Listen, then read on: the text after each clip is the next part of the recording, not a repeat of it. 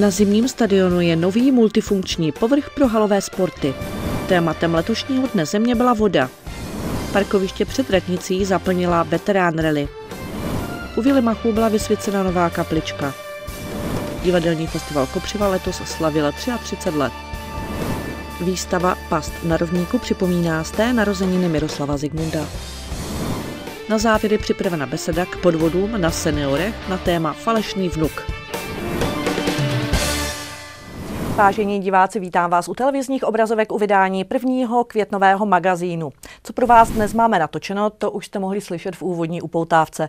Kromě těchto témat nebudou chybět i další informace. Například, že mateřská škola v Lubině uspořádala brigádu. Rotariáni hledají nové členy. Další aktuality nabídne obrazová zkratka a zodpovíme divácké dotazy na téma a ladění HD programů. Nebudou chybět informace z radnice, májové oslavy a další sportovní události.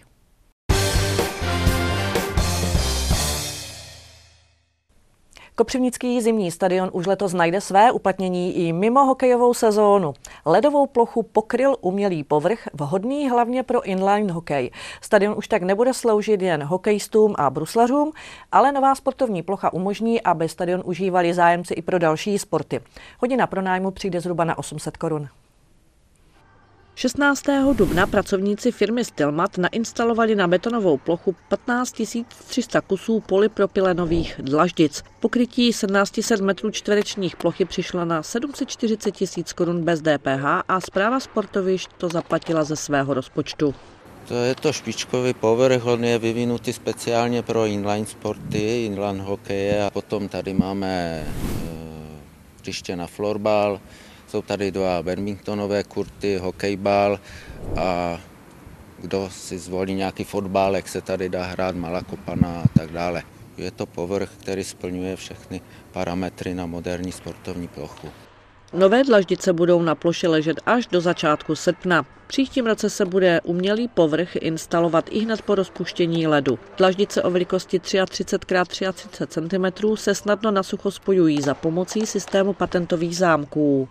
Eh, budeme to dělat sami. Samozřejmě firma nám ukáže, jak eh, to položit, což už ukázala, a jak to složit, tak abychom to mohli potom po sezóně zase bezproblémovně instalovat.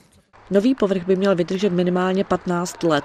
Letos zpráva sportovišť má v plánu zjistit zájem veřejnosti a mapovat další možné způsoby využití. Zatím je největší zájem o inline hokej a badminton. Bruslení pro veřejnost je otevřeno každý den od 17 do 19 hodin a vstupné je 30 korun.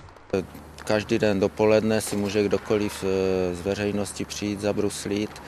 Eh, navazujeme kontakty se školami a se školkami, takže předpokládáme, že bude i zájem těchto eh, subjektů o využití v dopoledních hodinách. Každý den je bruslení pro veřejnost, zhruba od 17 do 19 odpoledne a je možné samozřejmě si objednat pro inline hokej, hokejbal a tak dále a další sporty tuto plochu. Kdo chce plochu využít, může kontaktovat správce zimního stadionu. Rezervace inline plochy je možná na internetových stránkách zprávy sportovišť.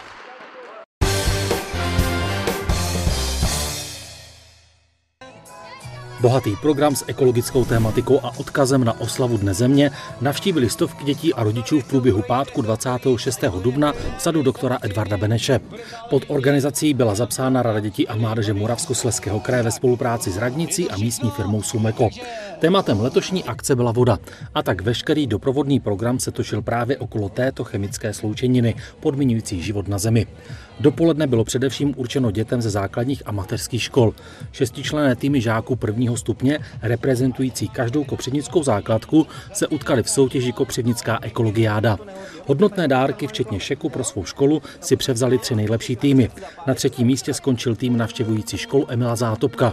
Na druhém místě se umístili žáci ze školy doktorky Milady Horákové. A šek v hodnotě 5000 korun a první místo si odnesli soutěžící reprezentující základní školu Mniší parku si příchozí mimo jiné mohli vyrobit svou meteorologickou stanici nebo vyzkoušet různé pokusy, které si vzalo na starosti úžasné divadlo fyziky. Nechyběly tradiční aktivity jako dílna dětí z místních mateřských škol a výstavka jejich výrobků, skákací hrad či slalom s popelnicí.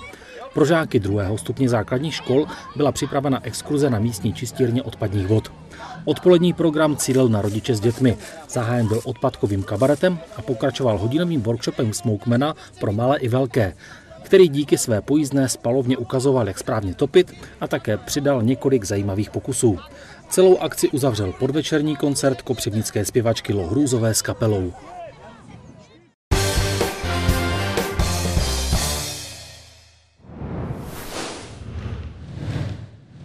Poblíž nového komunitního centra Pětka se aktuálně opravuje část chodníku, který byl v nevyhovujícím stavu. Jedná se o investiční akci přecházející z minulého roku. To znamená, že byla loni vysoutěžena a čekalo se na dokončení rekonstrukce objektu a jeho okolí. Výměnu povrchu by potřebovali i další chodníky. Pro letošní rok je na to v rozpočtu města vyčleněna částka zhruba 2 miliony korun. Avšak plánují se předláždit jen ty, do kterých bude letos zasaženo v souvislosti s opravou plynovodu.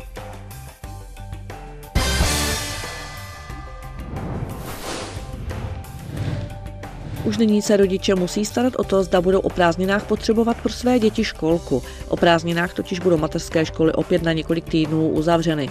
Plány jsou ve školkách k dispozici. Kdo bude potřebovat náhradní umístění dítěte v jiné školce, musí o to písemně požádat ředitelku mateřských škol a to nejpozději do 17. května. Po tomto termínu náhradní mateřská školka nebude poskytnuta.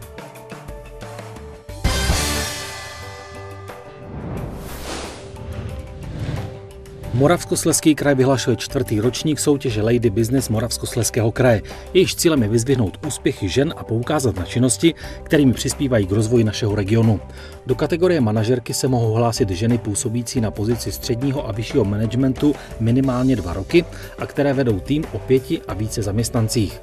Druhá kategorie je určena studentkám, které studují denní studium na jakékoliv střední či vysoké škole v našem kraji a v libovolném oboru dosáhli výjimečných úspěchů. Přihlásit se či nominovat můžete na webu www.ladybusiness.cz.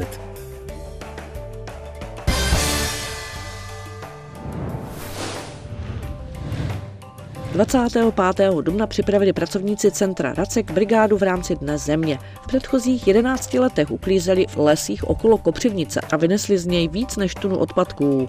Letos začali úklidem prostranství kolem domů na ulici Horní. Byly k likvidaci nachystány staré elektrospotřebiče, rozbité hračky, pneumatiky a zničený nábytek. Pak se účastníci brigády vypravili do lesa na Bílé hoře, kde pozbírali dalších 50 kg biologicky nerozložitelného odpadu. Tradiční jarní úklid je jedním ze způsobů, jak se sociální služba Radcek snaží aktivizovat své klienty a zároveň udělat něco užitečného pro životní prostředí.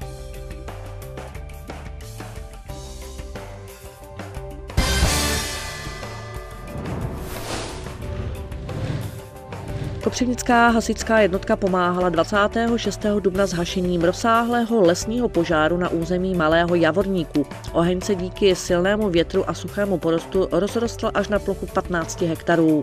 Na místo bylo postupně svoláno 14 jednotek požární ochrany, dva profesionální a 12 dobrovolných, vrtulník s bambivakem a hasící letadlo.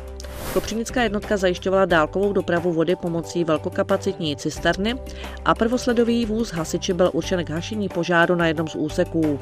Požár se podařilo dostat pod kontrolu až po 6 hodinách. Předběžná škoda je vyčíslena na 1,5 milionu korun.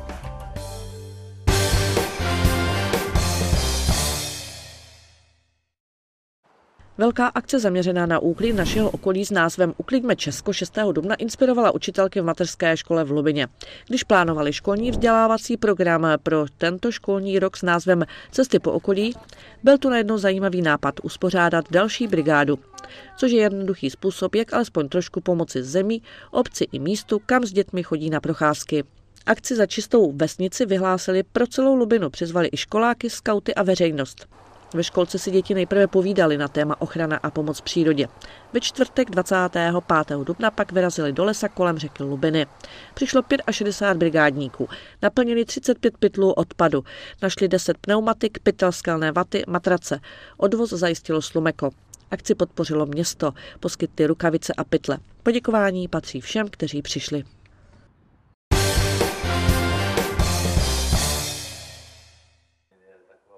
V úterý 16. dubna patřilo kino Rotariánům. Účelem prezentace bylo seznámit kopřivnickou veřejnost s činností Rotary a jeho přínosu pro členy i komunitu, v níž Rotary klub funguje.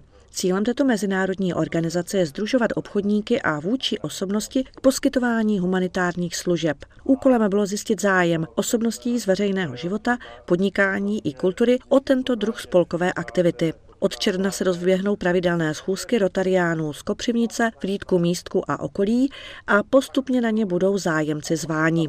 Případně je možno kontaktovat Ivo France, který je sekretářem našeho regionálního Rotary klubu a pomáhá aktivity v Kopřivnici rozvíjet.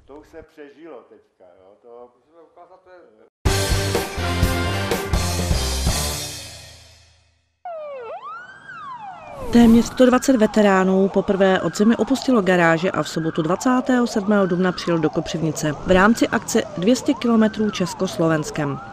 Akci organizoval Honest veterán Car Club Rožnov pod Radoštěm a byla startem sezóny historických vozidel na Moravě. Na výšku dorazilo přes 200 lidí z Čech, Slovenska a Polska. Start díletu v Rožnově u aeroplánu trošku pozlobil déšť, ale pak již počasí přálo. Trasa vedla směrem na Dolní Bečvu, Hutisko, Soláň, Velké Karlovice až do Makova. Na státní hranici se tu setkaly posádky vozů z české a slovenské strany a byla slavnostně zahájena nová veteránská sezóna. Pak se veteráni vydali směrem na Truzovku zpět do Rožnova a pak rovnou do Kopřivnice. Parkoviště před radnicí zaplnila historická autíčka z 15 slovenských a 20 českých klubů. K vidění byly Mercedesy, Tatry, Pragy, Kodovky, Bentleje, Alfa Romeo, Maserati, Volhy, Trabanty, Hadraplány a nespočet dalších značek. Nejstarší vozidlo k nám přivezl Jirka Richter Ford T Roadster 1924.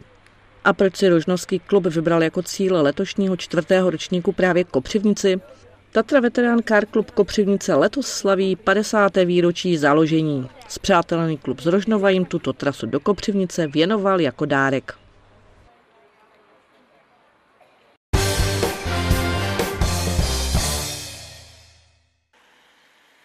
V neděli 28. dubna se u Vily Machů konal slavnostní obřad. Novou kapličku na rohu Nové zahrádky slavnostně pokřtil a pobožnost vedl kopřivnický farář Martin Kudla. Kaplička je zasvěcena božímu milosedenství a Ježíši dobrému pastýři. Na projektu se podílel architekt Tupí. Hlavním úkolem bylo sladění s vilou, proto je tu lomená střížka i barevné sladění.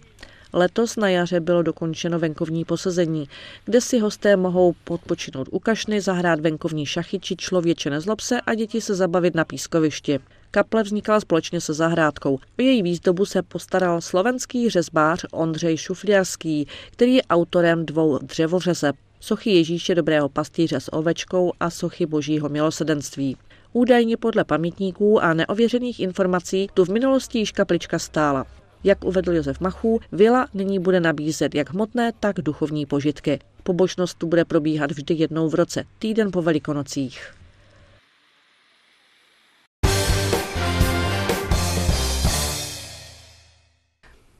Kultuře tu pro vás máme 33. ročník divadelní přehlídky Kopřiva. Prvomájové odpoledne výstavu Past na rovníku v muzeu Tatra. Ta připomíná z té narozeniny Miroslava Zigmunda. A nebudou chybět tipy pro váš volný čas. Každoročně v polovně dubna si v Kopřivnici dávají do staveníčko všichni příznivci a vyznavači divadla ve všech jeho rozmanitých podobách. Letošní Kopřiva měla podtitul Cesty od nesvobody ke svobodě a zpět. V pátek 26. a v sobotu 27. dubna patřila Kopřivnice Kopřivě, přehlídce netradičních divadel. Její originalitu a nápaditost mají rádi diváci i profesionální divadelníci. Letos se prodalo přes tisíc vstupenek. Před hrou Kopřivě bylo setkání u kulatého stolu. Pak již dostali prostor divadelní spolky, soubory i solitéři. Pořadatelé v programu mysleli na všecky. Nabídce byla divadla všech žánrů, figurální projekty, taneční a herecké kreace a nechyběl doprovodný program a představení pro děti. Letos bylo v nabídce devět divadelních představení, kde kromě češtiny zněla i slovenština, polština a ruština. Hlavní stan měla Kopřiva v katolickém domě v Kopřivnici. Náročné téma přinesla oběť v podání polského herce Matejaše Novaka, monodrama postavené na příběhu člena zemské armády uvězněného v období stalinských procesů. Další cizojazyčné představení přivezla ukrajinská herečka Elena Dudych. Představila se s hrou Margarita a Abulfas, variací na téma Romea a Julie. Představení bylo v ruštině a ti, kteří nerozuměli, se mohli spolehnout na titulky. Pak již diváky bavili například tři herci z divadla Bolka Polívky. Improvizovali svobodně a bez příprav o svobodě, o tom, jak se svobodu získat a udržet i o její ztrátě. To vše na přání a zadání diváků. Pouze na jedinou hru návštěvníci zamířili do kulturního domu. Hadivadlo nastudovalo sarkastickou komedii Arnošta Goldflama Doma u Hitlerů. Zobrazuje největšího zločince planety Evu Braunovou si střihla kopřivnická rodačka Táňa Malíková. Téma svobody velmi silně zaznělo v představení Anna Franková, se kterým po loňském úspěchu s Pinokiem ze Slovenska přijelo nové divadlo z Nitry. Oslovilo jak diváky, tak porotu a získalo všechny tři ceny. Další cenu za spolupráci získala Anna Stránská z Hadivadla. Slunečné prvomájové odpoledne vylákalo stovky lidí na procházku. Jedním lákadlem bylo tradiční balábilé v parku doktora Beneše. Pro malé návštěvníky tu bylo připraveno několik aktivit v režii kulturního domu. Na pódiu se představili tanečníci a hudebníci. Program zahájil koncert Městského dechového orchestru, následovala taneční vystoupení a pohádka pro děti. Ty se také mohly bavit v nafukovacím hradu, jezdit na ponících či si hrát v dílničce. Poslední část prvomájového balábilé Stejně jako v loni patřila koncertu kapely Alfa Orchestra, hrající repertoár složený z populárních hitů 70. až 90. let. Další desítky lidí si pro procházku vybrali Bublaranč, kde bylo připraveno také hraní pro děti, projížďka na koních a hudební program. O ten se starala domácí kapela Meteor, která letos slaví 50. výročí založení. V roce 1969 v Mniší při slavnostním otevření samoobsluhy spolu hráli poprvé a už to tak zůstalo. Původních devět členů se zredukovalo na čtyři. Repertoár stále rozšiřují. Nezbývá než gratulovat k významnému jubileu. Poslední dubnový den se v Technickém muzeu Tatra konala vernisáž výstavy Past na rovníku, věnovaná cestovateli a spisovateli Miroslavu Zigmundovi, který 14. února oslavil z té výročí svého narození. Jak ukázaly předešlé výstavy Hanzelky a Zigmunda, projekty Tajemná Indonésie, Tamtami času a rekordní prodej knihy Pastarovníku budí i dnes dílo pánů Hanzelky a Zigmunda obrovský zájem, obdiv a respekt. Vernisáž si nenechala ujít řada známých osobností. Pana Zikmunda jsem poznal osobně, měl jsem možnost si s ním povídat a mm, pokora před tím, co všechno udělal, co dokázal, pokora před eh, jeho vitalitou i v těch stoletech, to znamená, to je to, je to co mě sem přivedlo. Tak eh, Hanzelka, Zigmund, to je pojem, který zná, myslím, každý v České republice a mít takovou výstavu krásnou kopřivnici je škoda nevidět. S panem Hanzelkou a i s panem Zigmundem jsem to dost prožil i s její autama a z renovací, takže jsem rád, že se ta vzpomínka tady na ně podařila udělat.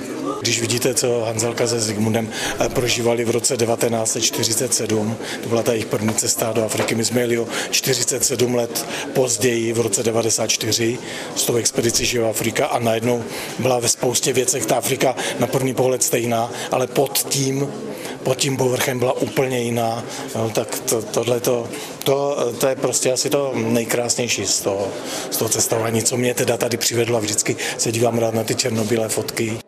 Osu výstavního projektu tvoří poslední cestopis druhé cesty Jiřího Hanzelky a Miroslava Zigmunda Past na rovníku, kterou vydal Ruda Švaříček v edici Livingstone. Ten se ujal zahájení výstavy, vysvětlil původ exponátů a připomenul zajímavosti z cesty, kterou Hanzelka se Zigmundem podnikli od 2. dubna 1959 do 11. listopadu 1964 dvěma upravenými Tatrami 805. Hanzelka Zigmund nevozili předměty to, co vlastně tenkrát vlastně absolvovali, co vezli, to bylo velice skromné v těch Tatrovkách, nemohli tenkrát vést věci, nemohli mít nějaký velký sběry. Miroslav Zigmund ve svém byli na Nivách, zase Karel Oprajc a další, kdo sem dostali, vlastně ví, vlastně ten počet předmětů, který není velký. Takže to je vlastně omezené, proto jsme tady doplnili vlastně ty předměty z těch cest, aby byla tady trošku ta cesta kolem světa více prezentována. Návštěvníky čeká expozice téměř 200 působivých fotografií, map, dokumentů a originálních výstavních instalací a stovek autentických, často dosud nevystavených sbírkových předmětů. Ruda Švaříček dokázal v průběhu ledna zhromáždit nebývalou sbírku exponátů pocházejících z jeho cest po celém světě. To zde pak můžete vlastně třeba obdivovat, tam ten obrovský totem, který se nazývá Biš. Nahoře je falický symbol, který se nazývá Čemen. Představte si, že takhle obrovské sochy Oni vysokávají vlastně na Nové Gvineji jenom proto, aby pak tu sochu odnesli na ságoviště, což je vlastně džungle, aby ta palma ságová více plodila. Jak máme každý vlastně ve své lokalitě, my máme třeba v Čechách brambory, jinde mají rýži, jinde mají třeba kasavu, maniok, taro, um, nebo fufu hmotu, tam žijí všichni vlastně z toho plnidla, což je ságová palma. Takže i takový exponáty oni tam odnesou a pak to tam nechají zhenít jenom proto, aby to, aby to více plodilo. Jsou tady třeba obří masky z Timoru, jsou tady vlastně ty rituální velké skulptury, a jsou tady eh, nože z ptáka kasoára, což je největší tvor na Nové Gvineji. Bájný mystický pták, který dokáže zabít i pařátem, je větší než tam všechny savci. Výstava potrvá do konce roku 2019.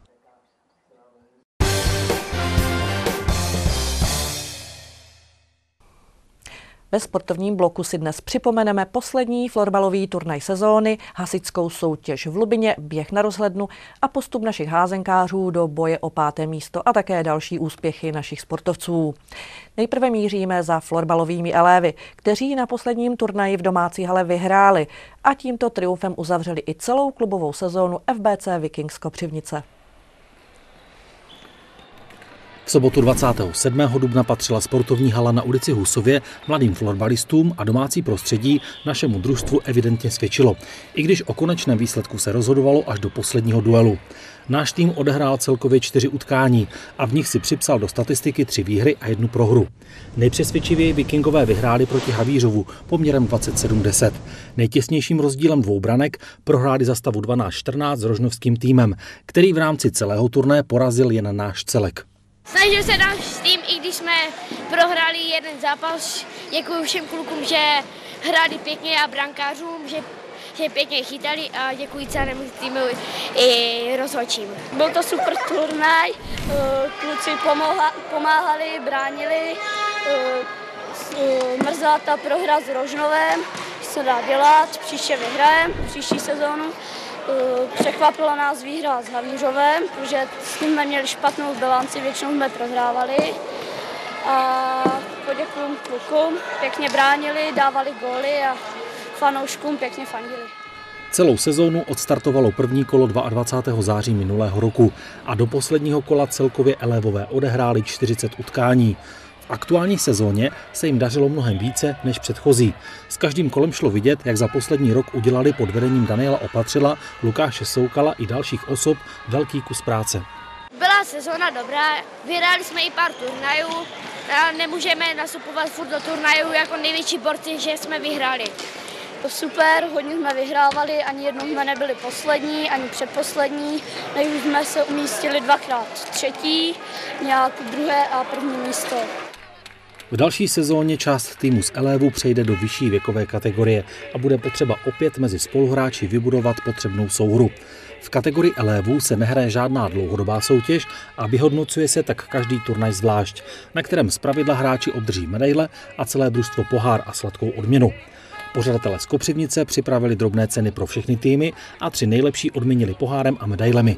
Třetí místo na kopřivnickém turnaji obsadil Frídek Místek, druhé místo Paskov a zlato si převzali kopřivničtí elévové. Jedenáctý ročník pohárové soutěže mladých hasičů v požárním sportu proběhl v sobotu 27. dubna v Lubině na cvičném hřišti.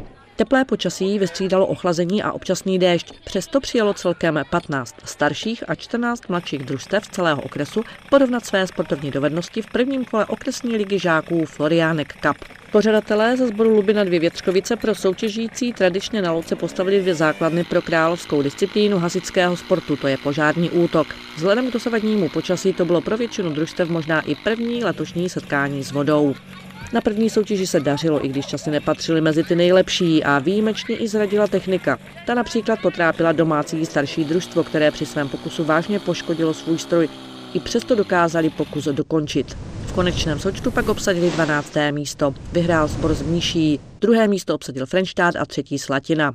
U mladších družstev se v útoku jedná spíš o velké nadšení, ale také o velkou snahu ukázat se před známými. Domácí v této kategorii obsadili 11. místo, vyhrál sbor z Hájova. Druhé místo po součtu bodů obsadil sbor Mníší A a třetí příčku zabrala Stará Ves. Mníší B skončilo páté. Druhá soutěž, která se v Lubině koná, je závod dvojic. U ní se projevil vliv ranního deště. Při obíhání mety několik žáků podklouzlo a upadlo ale naštěstí nedošlo k žádnému zranění. A to přispělo k rozhodnutí odvolat doplňkovou soutěž pro dorostence běh na 100 metrů s překážkami. Bariéra a kladina byly velmi nebezpečné. Tuto soutěž si mladí hasiči zaběhnou později v akci Pertníková 60 a 100, která bude na začátku prázdnin. 37 běžců se postavilo na start devátého ročníku běhu na rozhlednu Bílá hora, který je zařazen do seriálu Lažské běžecké ligy. 26. ročník této soutěže tvoří celkově 9 závodů. Liga byla letos odstartována 9. března Mořkovským zajícem, následoval 3. dubna běh na Červený kámen a tento v pořadí třetí běh se uskutečnil 24. dubna. Trať měří sice pouhé 2 kilometry, avšak účastníci musí zdolat 197 metrů převýšení. Nejrychlejší čas zaběhl Jan Valošek z Veřovic. Šest za ním doběhl na druhém místě Petr Filipec a třetí byl v cíli z domácího klubu David Hanke, který ve své kategorii muži B vyhrál a Radek Raška ve stejné kategorii obsadil třetí místo. V kategorii muži D tradičně vyhrál Alexander Neuwirth a třetí místo bral Josef Kvita. V ženách brala třetí místo Darina Krauzová, tuto kategorii vyhrála Jana Coufalová. Dalším závodem bude 11. května novojčínský půlmaraton.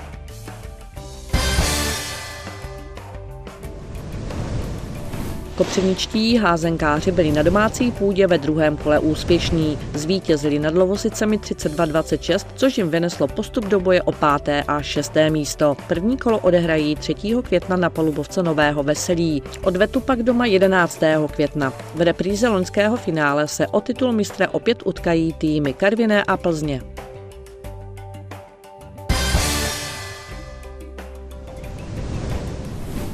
Kopřivničtí fotbalisté remizovali ve 20. kole na domácím hřišti s oderským týmem 2-2 a před zápasem popřáli hráči trenéru Svatopulku Chrbákovi k oslavě jeho 70.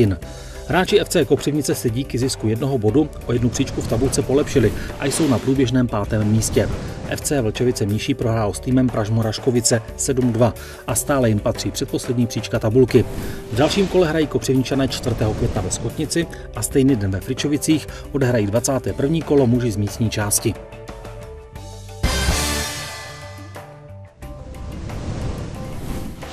14 mužstev odehrálo 27. dubna třetí kolo oblastního přeboru v malém fotbalu. Desetibrankovou nadílku uštědřili tuzemáci Legionu. Sedm branek si do statistiky připsala Lokomotiva Gangsters díky výhře nad Deltou Friedland. Za stavu 5-0 skončil duel ďábelských jelit s Gunners. Čtyřbrankovým skóre vyhrálo Safari nad Starou gardou a po třech gólech zajistilo vítězství RS týmu a Bomšankaru. Everton Závišice prohrál s baníkem Štramberg 0-1. Tabulku oblastního přeboru po třetím kole průběžně vede Lokomotiva Gangsters, druhé je Safari Kopřivnice a třetí baník Štramberg. 4. května bude zahájen oblastní pohár a oblastní přebor pokračuje dalším kolem 11. května.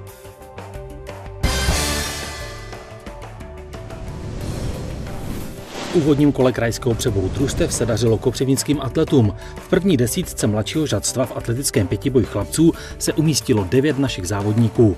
V první desítce děvčata to bylo pět závodnic našeho klubu. Z kluků vyhrál Daniel Hanzelka a mezi děvčaty se nejlépe umístila na druhém místě Patricie Pešlová.